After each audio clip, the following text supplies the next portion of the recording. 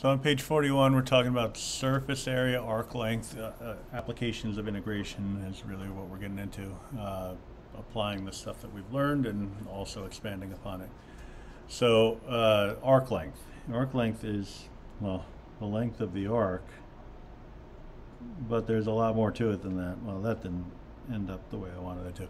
So what we can do, uh, and this doesn't look like much of a function over here, so let me just trim that, is we can kind of do something along the lines of what we did back when we were learning about uh, slopes of secants and tangent lines and things like that, and that is create an arbitrary graph and select some arbitrary points on said arbitrary graph. All right, uh, that moved on me. So what I'm going to do is plot a point here at location A and I'm going to plot a point here at location B. Now, one way in which you could determine the length of the arc, right? Well, really what it's talking about is measuring using linear units the distance between two points on a curve.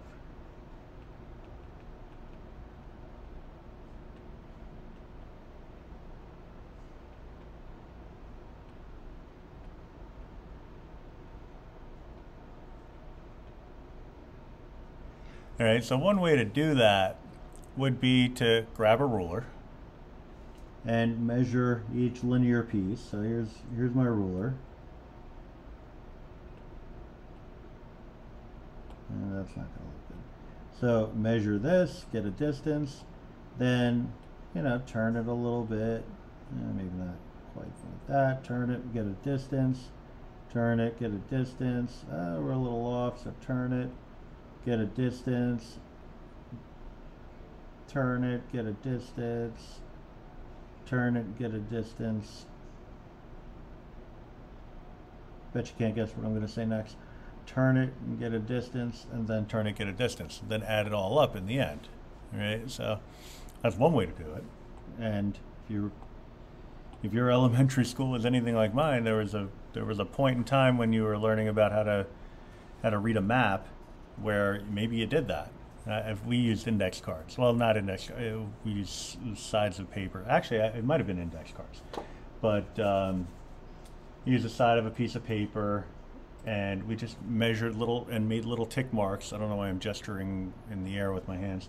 Um, we made little tick marks, and then uh, we just measured the distance of all of our tick marks, and that gave us a distance which we compared to the scale on the map, and that told us how far it was between New York and Cleveland. You know, and so you do it that way. That's one way to do it. Uh, another way to do it is kind of it's still in the spirit of that, but it's not quite that. All right. Obviously, it's going to involve integration because what the heck have we been doing all semester? You know, so it's really a question of okay, well, how how are we gonna how, how are we gonna get integration involved in this this seemingly unrelated to integration concept? All right. So what we do is we take an infinitesimal. We're used to that term by now, I think. Infinitesimal distance on our graph and pretend this is infinitesimal. All right, and we take that out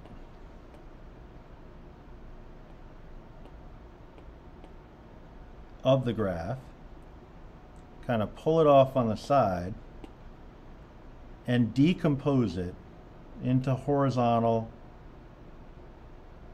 and vertical components. All right. Now, that's not my best work it's not my worst work either. So I mean, it's really just kind of crapshoot. But what I'll do actually is I'll I'll zoom in on this.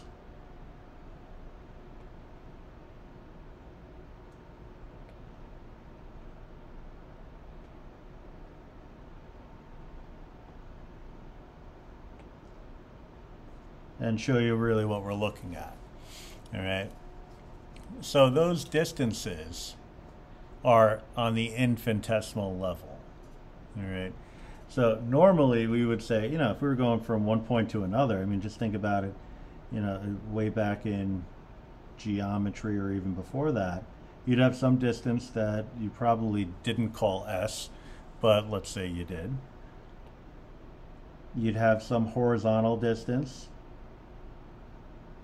and some vertical distance that made up or was the decomposition of that diagonal distance s. All right, so you your x and your y. That would give you, through the Pythagorean theorem, x squared plus y squared is equal to s squared. All right, but now that's not really x and y, right? Because if this were x and y, we'd be looking at something over here, right? Starting at the origin, going to the right x units and going up y units or down, you know, depending on if it's positive or negative. So this isn't really x and y, but it is some sort of change in x and y, so we'll put a little delta in front of it, capital delta. All right? And so what we're dealing with here, that S wouldn't be related necessarily to the origin, right? It would be related to the change in X and change in Y. So we'll call that delta S, all right, just to keep it consistent with the notation used for the decomposition. All right, so by the Pythagorean theorem, by the power of Grayskull,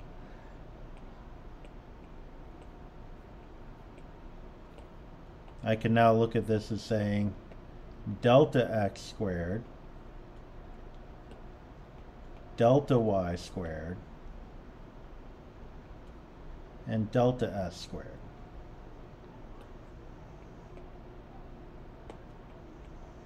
All right, capitals all the way.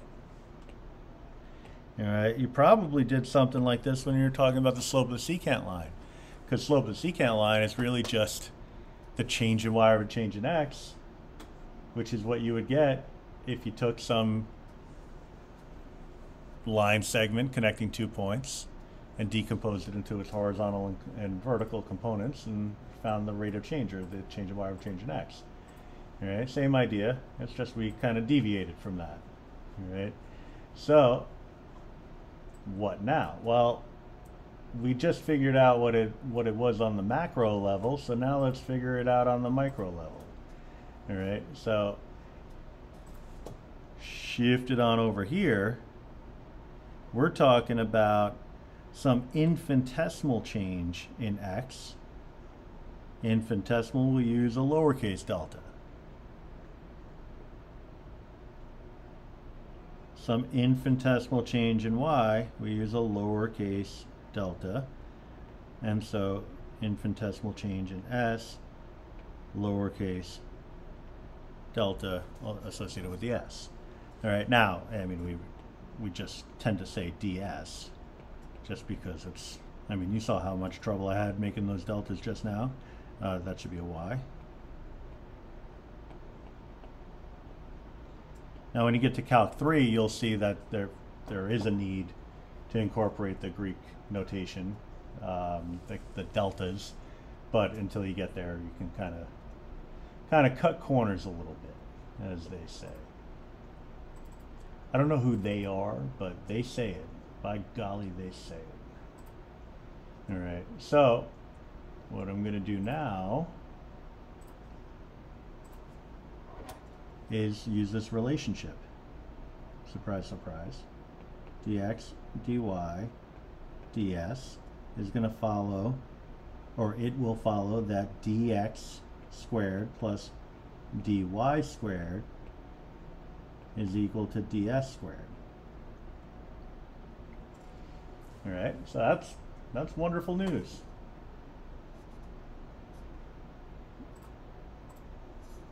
What do we do with it? Well, I can can like solve for ds, I guess. Well, let, us do that. All right, so if I were to do that, I'd take the square root. That that seems like a disaster waiting to happen. So actually, why don't I?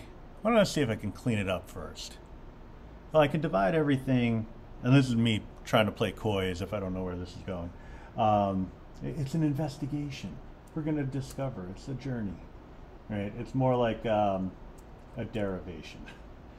I know exactly where it's going, and and you do too. Just look down. You know, it's there. There are rules, all right? So we're going to divide everything by dx squared.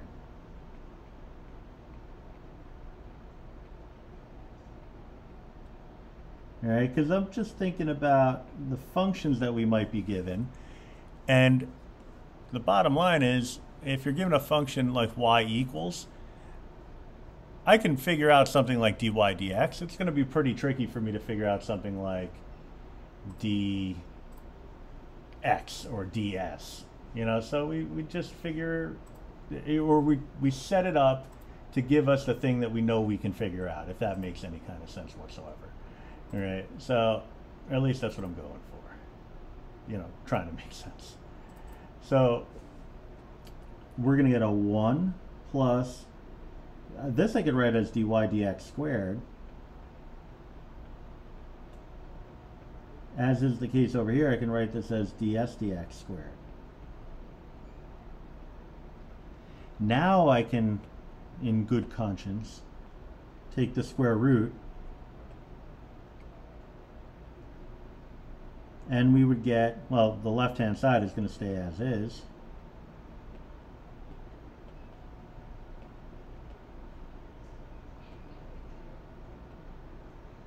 The right hand side is now just going to become a ds dx. But we could do more. Now, this is a differential equation. If I multiply both sides by dx, I now have ds equal to all of this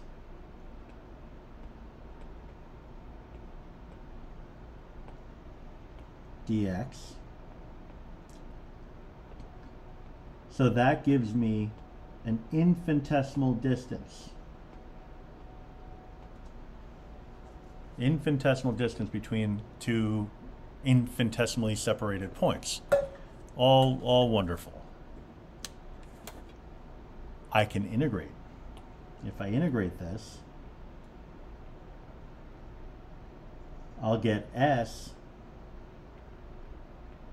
on the left-hand side is equal to, now it just depends on where I'm integrating it from and to. So I'll integrate from some starting point A to some ending point B. And if I integrate all of those little infinitesimal distances, what I'll end up with will be the arc length from the beginning to the end of that interval.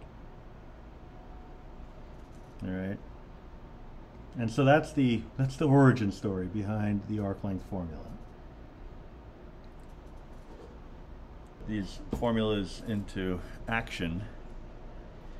Uh, the first example, find the length of the arc of the graph of y equals the natural log of cosine of x on the interval of 0 to uh, pi over 4. All right, so I can create the graph. Natural log of cosine of x, get rid of the other function, on the interval of 0 to pi over 4.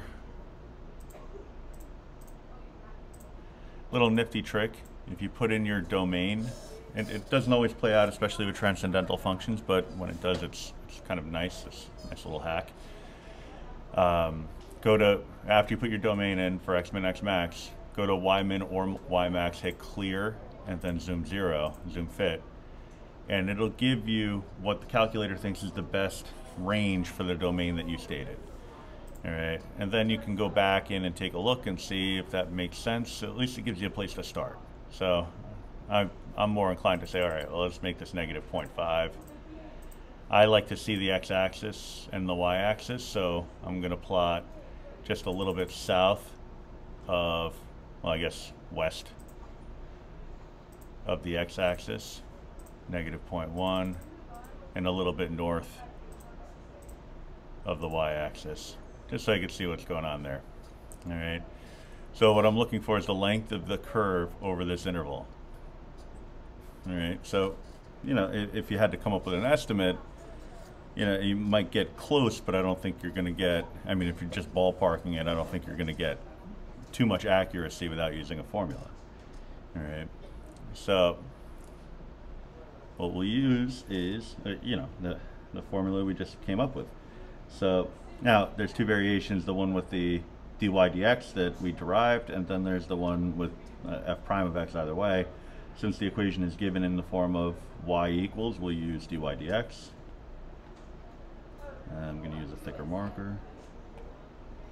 So dy dx is going to be equal to 1 over the cosine of x multiplied by the derivative of cosine of x, which is negative sine of x. So we're looking at negative tangent of x. Okay, so the integral over the interval of 0 to pi over 4 of the square root of 1 plus dy dx squared, so negative tan x quantity squared under that radical dx. All right, so this is what we have to integrate. Now, again, just like the volumes. You can do it by hand, you can do it in the calculator, it's up to you. Right? Preference would be to the calculator. Sometimes you want to clean it up a little bit just to make it a little bit easier to type into the calculator. So this is 1 plus tangent squared. Right? So if you remember your Pythagorean identities, so sine squared plus cosine squared is equal to 1, but one of the variations on that, if you divide everything by cosine, is tangent squared plus 1 is equal to secant squared.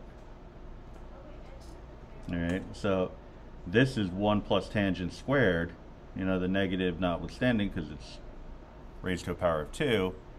This is going to give you a secant squared x dx. So it's actually going to be pretty easy to do by hand. Normally I would say, you know, forget it, just do it in the calculator. Um, but here we want to do it by hand. I don't know why I wrote a pi over 2. Classic Bob. Oh, I almost wrote another pi, so this is this is derailing very quickly. All right, so from 0 to pi over 4, secant x dx. Now at this point, it's just a question of, all right, well, do you want to put it in the calculator? If so, at least you have something easier to type in if you're doing it on a TI, you type it in as 1 over cosine, but on the on Desmos, you could type it in as secant. All right, but if you remember, the antiderivative of secant is the natural log of secant x plus tangent of x.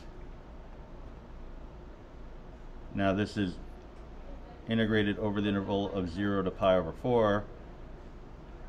Be careful for domain issues because we know that secant and tangent functions are undefined for certain values of x. All right, uh, the the ordinary parent function is only undefined uh, for multiples of pi over two, so we're good to go there. Still looks a little wonky, but I'm going to live with it. So going from zero to pi over four is okay. So we're looking at the natural log of secant pi over 4 plus tangent pi over 4 minus the natural log of secant 0 plus tangent 0. Alright, tangent of 0 is equal to 0, so that's going to go away. Secant of 0 is equal to 1. All right, and that's because cosine of 0 is equal to 1, reciprocal of 1 is 1. All right, so natural log of 1 is 0. So this whole thing is actually going to go away. All right, so as it turns out, not, not a guarantee, but in this case it works out that way. So ln of, well, the reciprocal of cosine at pi over 4 cosine pi over 4 is rad 2 over 2, but the unrationalized version of that is 1 over rad 2. The reciprocal of 1 over rad 2 is rad 2. Tangent of pi over 4 is 1. And so we're looking at the natural log of radical 2 plus 1 guaranteed to be positive. Both values are positive, so we could say the natural log of radical 2 plus 1. Not that it really makes a difference, but that would be our final answer in exact form. All right, so let's get a look at that in decimal form.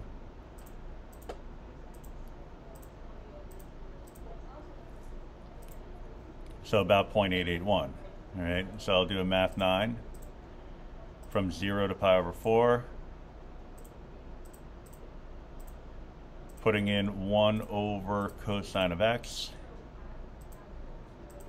dx and you get the same decimal so we know we're in pretty good shape here. And uh, if you wanted to go to Desmos this is from earlier. Antiderivative 0 to pi over 4 of the trig function, where are you, secant of x, close it up, dx, and you get the same decimal. All right, we could put a more unsimplified form in there, but I don't want to take too much time with that. All right, the next one, find the length of the arc of the graph on the interval of 0.5 to 2. And it's the same general idea. Uh, first, I'm going to clean it, clean it up a little bit y equals 1 over 6 x to the third plus well the other one you can kind of leave as is you know but I'm going to write it as 1 half x to the negative first. You know because if you know the derivative of 1 over x you know most people are kind of you know muscle memory it's negative x to the negative second you just kind of kind of work off of that. But you could also write it in power form so you make it easier to differentiate so dy dx 1 half x to the second minus 1 half x to the negative second. Alright, so this one, we're, uh, we're going from 0.5 to 2, 1 plus this whole thing squared. I hit cut when I meant to hit copy. That's alright. Easy fix. This whole thing squared, the whole shebang under the radical dx, and that's going right into a calculator. And again, like I said, it doesn't matter which calculator you go with. Alright, it's a matter of preference. I'm going to see about making this a little slimmer so it fits nicer. Function, miscellaneous. 0.5 or just 0.5 if you want to. The radical, well, you know what, I, I get a little nervous about the parentheses, so I'm just going to put it in. 1 plus another set of parens, I'll write it as 0.5 x squared minus 0.5 x raised to the negative second close it up and square it. Then close it up and slap on a dx. And you get about, you get exactly 2.0625, which presents a fraction option. So I'm going to take that, 33 over 16. Now in both cases we're looking at linear units, all right, whether it's number one or number two. So going back to number one, this was about 0.881. All right. So this is units, not units squared, not units cubed, just units. All right. If they gave you the units, you'd use whatever they are, like inches, feet, miles, whatever. But here we would just say units.